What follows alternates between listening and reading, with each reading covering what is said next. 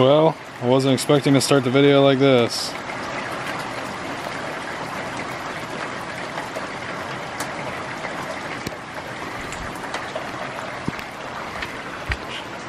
Looks like my car fell off the jacks.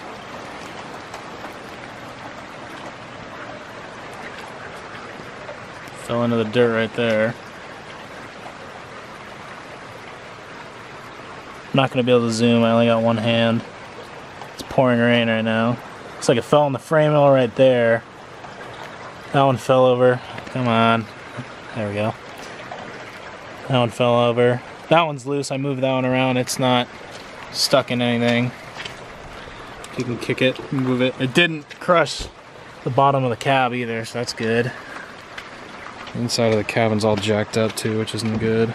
I was just happy it didn't put a hole in the floor. God, this stupid freaking motion light. There we go. Here's the sketchy part. Oh my god, look at that one jack. So effed up.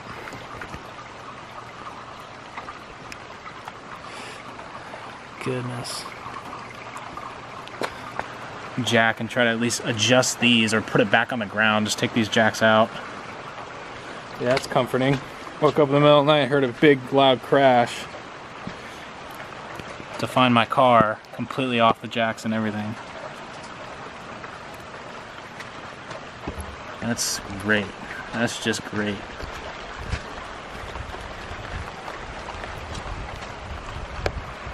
Bottom of the cab's in the water.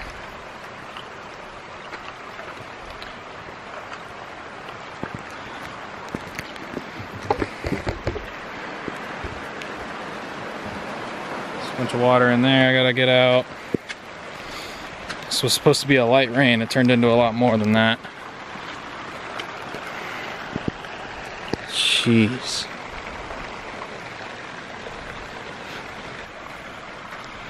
I'm gonna try to move that jack because that's really not good. You see there's pressure on that one tire. Oh, I'm so angry. That pisses me off so much. I'm gonna try to get that jack fixed and I'm gonna come back in the morning.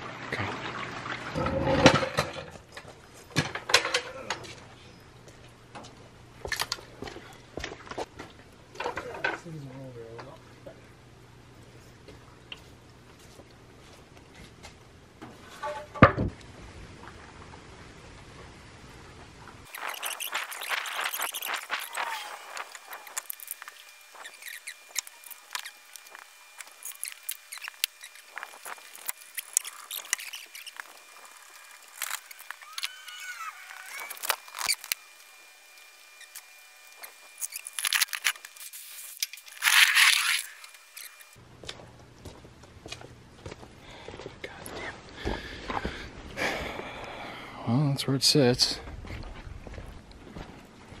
That's where it's gonna sit. Tires are back on the ground. The frame is literally touching the ground now. There's a bunch of water in there, and I'm not happy. So you can clearly see that jack sank into the ground and tipped over. Now, believe it or not, I know you guys can't see very well, that jack is underneath the frame, but the frame, there's a hole right here, so the frame is actually not uh, touching anything. The uh, jack isn't smashed, and I can reach in there and take both those jack stands out. Luckily, they didn't go through the trans tunnel. That would have really pissed me off. But, uh, yeah, that does not make me happy. But we have rain. A lot of California gets flash floods, so this is our little mini flash flood. I know a flash flood is nothing compared to what it is in the Midwest. That's what I got to deal with. So I got it's going to stay here for four days because if I try to put it back up on jacks, it's going to fall off again. So, yep. I'll come back in the morning and show you a little bit better lighting. But, God, man, that pisses me off. Spent a lot of time and money on this car and it just falls in the dirt. It just looks so trashed right now. Alright guys, today's video is sponsored by Shine Armor. If you're anything like me, your car sits outside, gets dirty and grimy all the time. You don't have time to wash it or clean it before car shows. So Shine Armor actually came through with a bunch of different products I could show you today on how you can just do a quick waterless wash or clean your entire vehicle without having to use water. You don't have to use it. You can just go get home from work, get in your car, go to the car show and wipe it down real quick and you can have the same show quality finish as the guy with a $50,000 hot rod right next to you. All right, so we're gonna head over to my Galaxie. I'm gonna show you guys how these three products work and how you can use them for your car. Uh, I'm not gonna use them on my, my truck because obviously it doesn't have very nice paint. My Galaxie does, so we're gonna head over there, we're gonna try it on the car. All right guys, so I got the Galaxie right here. You got two different different panels right here. Uh, the rain just washed it off, but I wanna show you guys how much stuff is actually still in your car, I mean, even though you think it isn't. So if you wipe your handle on it, nothing comes off. But if I use this one product, you can see what I'm using right here. So this is what we're gonna be using this their quick detailer. This actually has ceramic in it, so you can use it as a quick wash, get all the dirt off, and it'll actually leave a ceramic coating on it to where water just beads off and nothing will stick to it. So, so that's pretty cool. We're gonna try it out.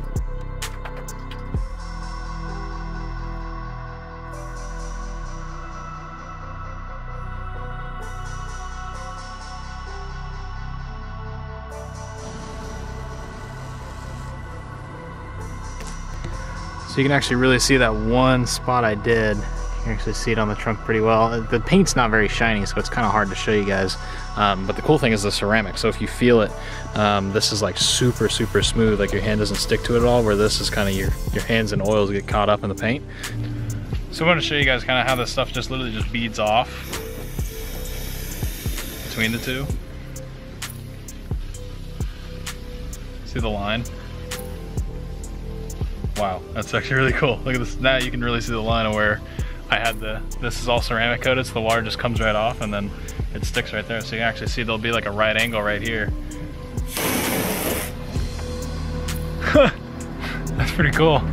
it's literally just a whole line, so this all just comes right off. Water won't stick to it. You drive down the road, it's gonna fall off, whereas this just sticks to it. So that's actually pretty cool. I've never actually seen that before in a car. All right, another one we got is our leather cleaner and conditioner. So if you got leather seats in your hot rod or your nice car, you want to keep them clean. So this one's pretty nice because it actually, if it starts to get hard or greasy, it takes all the grease out, and makes them nice and soft. So you guys can kind of see our little line right there. You can see this is all the grease and grime and dirt and it's a lot softer now. It's really hard and it's nice and soft now right here. You can see the fat line right there. So now your interior is one color. Doesn't have a bunch of shiny grease and dirt marks and stain marks from people sliding in and out. Um, so yeah, looks pretty good now. All right, our last one is our interior detail. This is more for like the older car guys that got vinyl, more vinyl and leather. You guys use this kind of stuff. You can use this on your dash. This actually protects from sun fading and stuff like that, so that's really nice. So uh, we're gonna use this on the seat seal, which brings the black back. These are original 68 seats that have not been reupholstered, so should look pretty good.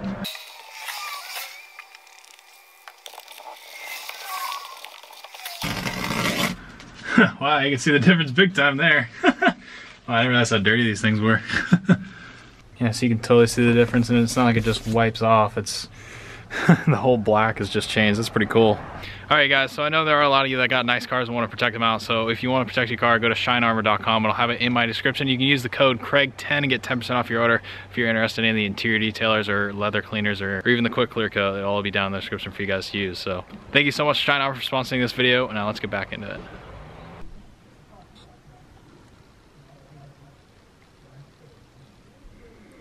And this is where we stand. So it's been raining pretty bad throughout the morning. Kind of cleared up. You can see it cleared up just a little bit for a split second. I can guarantee it's going to dump again in the next few hours. So I wanted to film this while I still have a chance. But uh, this is about as low as it gets. I mean, literally. Oh my gosh. Yep. That's sick. It's like a pool of water I gotta clean. Just nothing about this, you know, went well at all. I mean, I got half of my car sitting here on the ground. And it's like, yeah, I get my car back on the ground. No, it's not really how I wanted it on the ground, guys. so, yeah. Yeah, so uh, I'm not even gonna try to like blame this on anybody else. It's my fault. Unfortunately, I did not think it was going to rain this much. I was at school, came home, it started raining. Uh, I thought it was just going to rain for a day. I was like, whatever, don't sweat it. Keep in mind, this car's been on the same jack stands for months now, in the rain, multiple times, over different days. And I was like, okay, who cares? It's just rain. It'll be fine. Undoubtedly, I did not put wood under the jacks, as you guys obviously can tell. Um, and I know I should have. So I don't want to see a bunch of comments telling me I should have put wood or something under the jack stands. I'm very aware of this. We had a you saw in the video, it was quite rainy and it was doing that for 24 hours straight. So it just got so wet in this area that the mud just got so soft. This dirt was the same kind of dirt you could literally throw a pickaxe at it and it was spark. It like was incredibly hard. So I was like, it's, yeah, it's fine. But when you literally soak dirt for 24 hours constantly and like make it a pool of water, any dirt's gonna get wet and soft. So what happened is the one jack in the front corner, it was a little bit, the ground was just a hair off level, and so that allowed the jack to kind of lean forward and just slowly and slowly sink forward until enough pressure allowed it to tip. And that one jack tipping caused the whole forward, uh, the whole car to kind of sludge forward uh, and get a little bit cockeyed and just just fall forward a little bit um, and fall off the jack. And the one jack fell over and then the other one followed it in the front. So both two jack tipped over, causing the one in the back to kind of be a little bit weird as you guys saw in that one shot. But unmistakably, this is my fault. I'm not even gonna try to blame it on anybody else. You know, I didn't think the rain was gonna be that bad. It's been the rain so many times. Who cares? It's metal. You know, there's nothing in the car. I just threw a couple parts in there that wouldn't get wet. But it's just a body. There's nothing to get wet. There's nothing to get wrecked. Who cares? It's not a big deal, right? Um, but when you see your own car sitting on the ground you get pretty pissed. So I'm pissed at myself. I, there's nobody to blame but me, so I'm just like incredibly upset and depressed about it. It's just like not somewhere I want to be right now. You know, I've got so much time. I've got freshly brand new powder coated parts sitting inside. I wanted to show you guys. Thank God I didn't put them on. They would have been destroyed. But I have all these nice things I was going to do the car, and now it's just like it's sitting in this state right now. I just like everything with this car is a step forward and five steps back, and thousands of more dollars in this car. I've it's crazy. It just drives me insane. So. So not only that, as you saw, the car wasn't covered because my tarp that was covering the car for X amount of months when it wasn't raining split directly down the center because it got stuck on something in the suspension when we pulled it off and it tore the entire tarp in half. Shout out to Harbor Freight for making amazing tarps. I've never had a tarp literally split in two pieces so easily. It literally just shredded straight down the center. So at that point, you can't even use it. There's no point. So yeah, that happened. Um, but yeah, I got all the windows back up.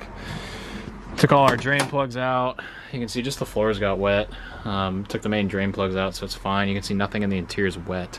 Um, but all the useless crap I'm gonna throw in the trash on the floor anyways, so it's nothing in the trunks got wet really. It's all fine. Um, this window doesn't, it fell off the rails. The whole window mech is bad, so I stuck a piece of wood, so I got it kind of up all the way. I think I'm gonna try to get it up a little bit more, um, you know, or put some tape here, close this off. Got this one up so yeah, everything's you know back to where it should be. But you can see it's just a little bit wet down there. I got those drain I got those drain plugs out as well. Um, checked everything. The interior's fine.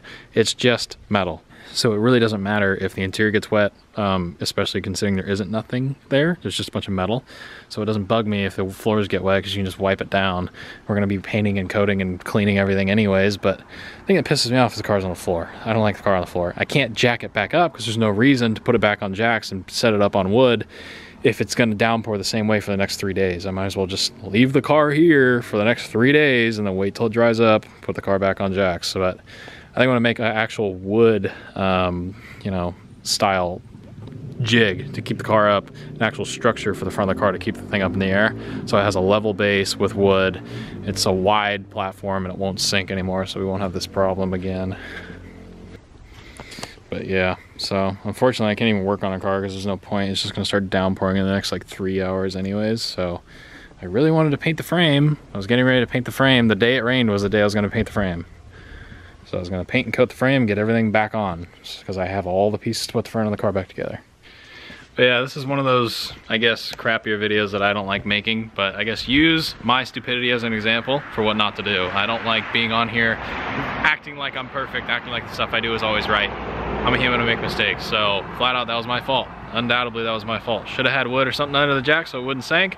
Should have got another tarp, but by the time I, I thought it was, I saw it was raining, I was raining a lot harder than I anticipated. I thought it was a light rain for like a day and it would have been done. It downpoured all night and then kept raining and kept raining. That was not what weather said it was supposed to be like, so totally caught me off guard. Didn't have time to go get a tarp. Everything went as physically bad as it could have. So there's that. It's just, it sucks. I don't like to make this kind of video but I might as well from here, hopefully one day when the car is driving and I take it to a car show, I can watch this and just reflect on how much work goes into this car. I have been toying with the idea of just getting rid of it and starting from scratch because a friend of mine has one with a big block in it for $4,000.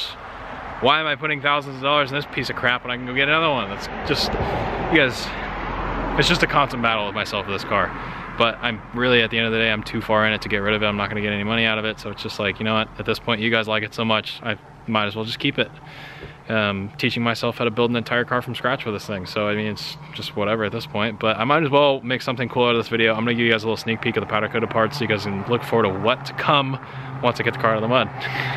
So as we walk over to our little table, dang. This is our lower control arm. But yeah, that entire table is full, so that should be fun. But yeah, anyways, I'm just gonna stare at this a little while longer, kind of remind myself of what not to do, and uh, you know, just make sure it's prepared for the next three days of rain. Uh, get the thing sealed up at least and make sure it's not gonna get any more trash than it already is. You can't really mess a car up more than I already have. So anyways, thank you guys so much for watching. Like the video if you want. I don't even know if I would like this video because it's not a good topic. I don't like any of it. But anyways, thank you guys for watching. I'll see you guys next video. Bye guys.